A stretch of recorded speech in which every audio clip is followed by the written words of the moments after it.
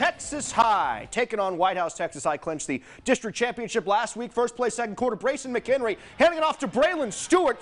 Colleges, watch this kid's tape. Look at him go. Pushed out of bounds. Around the 30 yard line. A few plays later, Stewart again. Stewart, left side. Stewart going to be down at about the one and a Crowd's half. going Call the crazy.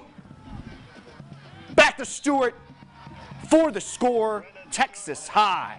They run away with this one tonight. Final score. I think that's, That's 20, 34, 34 to 7. Leslie.